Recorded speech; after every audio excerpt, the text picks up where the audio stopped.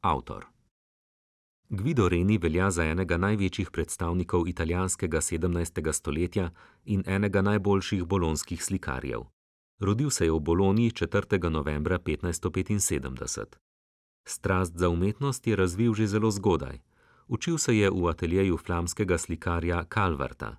Nato je vstopil v slikarsko šolo, ki so jo ustanovili bratje Carracci in se je imenovala Accademia del Naturale. Uveljavil se je kot slikar in sodeloval pri najpomembnejših umetniških projektih v Bologni. Leta šestnajststo ena je odpotoval v Rim, kjer je naslikal številne mojstrovine, med drugim Mučeništvo svete Cecilije, okrasil je tudi dve sobani v vatikanski palači.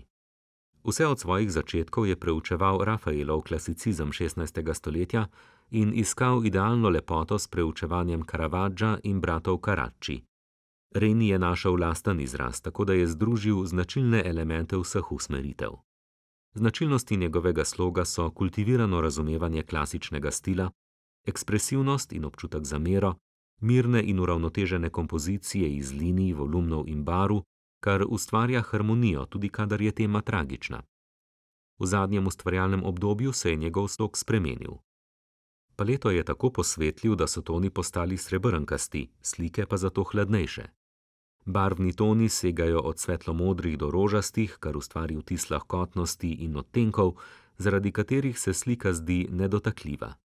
Poteze s čopičem so postale široke, hitre in zgoščene. Zdi se, da je umetnik v zadnjem življenjskem obdobju veliko pretrpel, morda je celo trpel za depresijo. Guido Reni je umrl osemnajstega avgusta šestnajststo dvainštirideset po kratki bolezni.